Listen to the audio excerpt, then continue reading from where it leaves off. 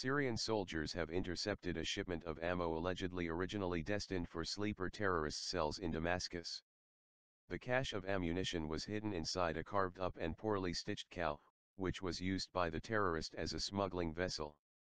The weapon-stuffed animal was discovered at an army checkpoint on the outskirts of the Syrian capital, Damascus when security forces pulled over a Kia truck earlier this week, Arabic language news outlets reported. Checking the live cargo, the soldiers discovered a 25 centimeters long cut in the side of the cow that had been badly stitched up.